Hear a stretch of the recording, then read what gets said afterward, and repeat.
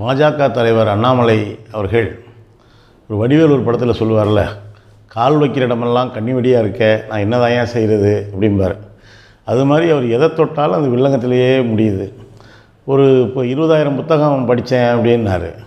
இளைஞர்கள் என்ன கேட்குறாங்கன்னா ஏன்னா இருபதாயிரம் புத்தகம் படித்தவர் சென்னையில் இவ்வளோ பெரிய புத்தக திருவிழா நடந்துச்சே ஒரு நாள் கூட அங்கே வந்து ஒரு புத்தகம் கூட வாங்கின மாதிரி தெரியலையே அந்த புத்தகங்களை அவர் எங்கே வாங்குறாருன்னு தெரியலையே அப்படிங்கிற மாதிரி கேள்வி கேட்குறாங்க சரி ஒரு வாட்ச்சு டயத்தை பார்க்குறதுக்கு ஒரு வாட்ச் வாங்கி கட்டினா ரபேல் வாட்ச்சு ரபேல் உதிரி பாகங்களில் பண்ணது அப்படின்னா ரசீது எங்கப்பா? அப்படின்னு கேட்குறாங்க ஐநூறு வாட்ச்சு தான் தயார் பண்ணாங்க. அதில் ஒரு வாட்ச் என்கிட்ட இருக்குது மிச்ச வாட்ச் எங்கே இருக்குன்னு தெரியலை. அந்த ரபேல் வாட்சுக்குள்ள அப்புறம் ரசீது எங்கே?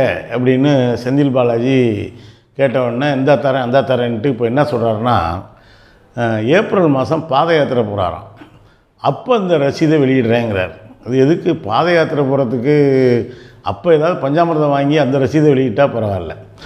வாட்ச் வாங்கின ரசீதை வெளியிடுறதுக்காக நான் பாத யாத்திரை எனக்கு தெரிஞ்சு இப்போ நிறைய மெய்யன்பர்கள் பக்தர்கள் பாத யாத்திரை போகிறாங்க பழனிக்கு போவாங்க. அதே போல் இந்த பக்கம் வேளாங்கண்ணிக்கு போகிறவங்க இருக்காங்க திருச்செந்தூருக்கு போகிறவங்க இருக்காங்க. ரசீது வெளியிடுறதுக்காகவே பாத யாத்திரை போன ஒரே தலைவர் நம்ம அண்ணாமலையாக தான் இருப்பார்னு நினைக்கிறேன். அவர் ஏப்ரல் பதினாலாம் தேதி சித்திரை அன்னைக்கு திருச்செந்தூரில் துவங்கி முப்பத்தொம்போது தொகுதிக்கும் போகிறதாக சொல்லியிருக்கிறார். அவர் நடக்கட்டும். அவர் நடக்கிறது நடக்கட்டும்னு நடக்கிறாரா? இல்லை என்ன எதுக்காக நடக்கிறார் அப்படின்னு தெரியல. ஆனால் இதில் உண்மையிலேயே வந்து இவர் கட்சி ஆட்சி வந்து ஒன்றிய ஆட்சி பொறுப்பில் இருக்கிற பொழுது பாத யாத்திரை போக வேண்டியது மக்கள் தான் ஏன்னா டூ வீலர் வச்சுருக்கவங்க பூரா பெட்ரோல் போட முடியாமல் பாதி நேரம் நடந்தே போயிடுறாங்க. அதனால் மக்கள் இவங்க ஆட்சியில் மக்கள் பூரா பாத யாத்திரை போயிட்டு தான் இருக்காங்க. இவர் பாத யாத்திரை போகிறதாக சொல்கிறார் நீங்கள் இந்த திருவண்ணாமலையில் கிரிவலம் போகிறவங்க அதுபோல் வந்து சில இதுக்கு போகிறவங்க என்னன்னா அண்ணாமலைக்கு அரோகரா அப்படின்ட்டு போகாது இப்போ அண்ணாமலையே அரோகரா போட்டுக்கிட்டு போக போகிற காட்சியை தமிழ்நாடு பார்க்க போகுது. இது என்ன எதுக்காக போகிறீங்க அப்படின்னு கேட்டால் அவர் என்ன சொல்கிறாருன்னா நாடாளுமன்ற தேர்தல் வருது அதுக்காக போகிறேன் முப்பத்தொம்பது தொகுதிக்கும் போகிறேன் அப்படிங்கிறார். இதுக்கு முன்னால் ஒரு யாத்திரை நடந்தது. அது என்னென்னா இவருடைய முன்னோடி இவருக்கு முன்னால் பாஜக தலைவராக இருந்த முருகன் திருத்தணிக்கு போய் திருத்தணியிலேருந்து வேல் யாத்திரை போகிறேன் அப்படின்னு வேல் வேல் வெற்றி வேல் அப்படின்னுட்டு ஒரு வேலை தூக்கிட்டு போனார். கடைசியாக ஒரு நாள் வேல் பூஜை நடத்துகிறோம் அப்படின்னு திடீர்னு சொன்ன உடனே பல பாஜகக்காரங்க வேல் வச்சுலாம் சாமி கும்பிட்றது இல்லை போல். ஒருத்தர் வந்து வீட்டில் கூட்டுற விளக்கமாற வேலாக்கி சாமி கும்பிட்டாரு அட்டவேல் தங்கவேல் வைரவேல் நம்ம கேள்விப்பட்டிருக்கோம். அன்றைக்கி பாஜக டிசைன் டிசைனான வேலை வச்சு சாமி கும்பிட்டாங்க.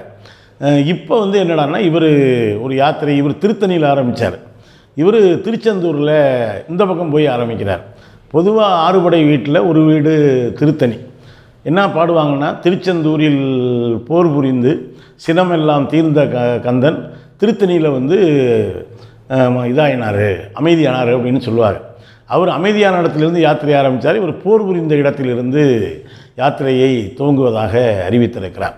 உண்மையிலேயே இன்னைக்கு திருச்செந்தூரில் முருகன் அசுரர்களுக்கு எதிராக போர் பண்ணதாக அன்னைக்கு இதெல்லாம் நடத்துவாங்க. சஷ்டி அன்னைக்கு சூர சம்ஹாரம்லாம் நடத்துவாங்க. ஆனால் உள்நாட்டு மக்களுக்கு எதிராக இந்திய மக்களுக்கு எதிராக ஒரு யுத்தத்தை நடத்தி கொண்டிருப்பது பாஜக தான் அந்த திருச்செந்தூரில் ஆரம்பித்து என்ன செய்ய போகிறீங்கன்னு கேட்டால் ஒவ்வொரு நாளும் தொண்டர்களோடு சாப்பிடுவார். இது ஒரு பெரிய சாதனையாயா? ஏன்னா ஒரு கட்சித் தலைவர் தொண்டர்களோட சாப்பிட்றதே ஒரு மிகப்பெரிய தேசபக்தி தியாகம் அப்படின்னு நினைக்கிற அளவுக்கு பல துறை நிபுணர்களை சந்திக்க போகிறார் அப்படின்னு வேற சொல்கிறாங்க உண்மையிலேயே இந்த யாத்திரை முழுக்க முழுக்க பாஜகவுக்கு எதிராகத்தான் போய் முடியும். ஏன்னா போகிற இடத்துல கேட்பாங்கல்ல எட்டு ஆண்டுகளாக போது ஒன்பதாவது ஆண்டு நடந்துக்கிட்டு இருக்கு. ரெண்டு கோடி பேருக்கு வேலை தரேன்னு சொன்னீங்களே இவர் எங்கே என் வேல் அப்படின்னு கேட்டால் எங்கே என் வேலைன்னு இளைஞர்கள் கேட்க மாட்டாங்களா? ஒவ்வொருவருடைய வங்கி கணக்குலையும் நாங்கள் பதினஞ்சு லட்ச ரூபா போடுறேன்னாரு. அந்த பேங்க் பாஸ்புக்கை காட்டி எங்கே போட்டிங்களா அப்படின்னு கேட்க மாட்டாங்களா? கேஸ் சிலிண்டர் விலையினால் மக்கள்லாம் மறுபடியும் வீட்டில் இருக்கக்கூடிய சகோதரிகள் எல்லாம் மறுபடியும் விறகு அடுப்புக்கு மாறிக்கிட்டு இருக்க சூழ்நிலையில் ஏன் இப்படி கேஸ் மானியத்தை குறைச்சிங்க அப்படின்னு கேட்க மாட்டாங்களா?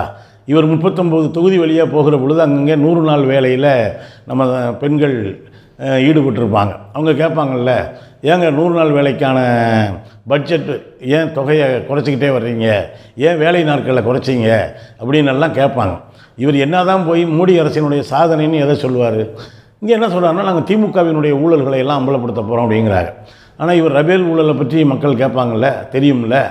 அதே போல் பாஜகவினுடைய பல்வேறு மோசடிகளை நிச்சயமாக அண்ணாமலையை சந்திக்கிற மக்கள் கேள்வி கேட்பார்கள். இது வந்து இந்த மாதிரி பாத யாத்திரை என்கிற பெயரில் தமிழக மக்களை ஏமாற்ற பாஜக முயல்கிறது.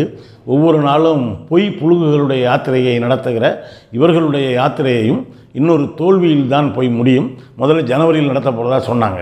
இப்போ என்ன சொன்னாங்கன்னா நாங்கள் இப்போ பரீட்சை இருக்குது மாணவர்களுக்கு. அதனால் நாங்கள் ஏப்ரலில் நடத்துகிறோம் அப்படின்னு சொல்கிறாங்க இதுதான் ஜனவரியில் படிச்சிருக்கிறது தெரியாமல் கூடவா ஒரு தலைவர் யாத்திரையை அறிவிப்பார் பாத யாத்திரையை? இன்னும் ஏப்ரலில் இவர் யாத்திரை நடத்தின உடனே ஸ்கூலில் லீவில் இருக்க பிள்ளைங்க பூரா இவர் பின்னாலேயே வந்துடுற மாதிரி இவர் இவராக நினச்சிக்கிட்டார்.